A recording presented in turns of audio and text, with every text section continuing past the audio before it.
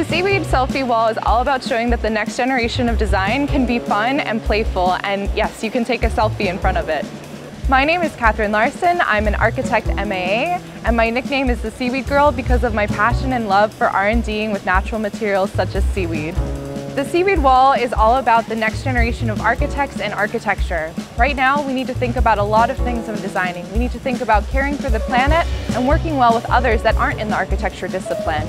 So the Seaweed Wall represents a way that we can bring new materials into architecture while caring for the planet and for other people.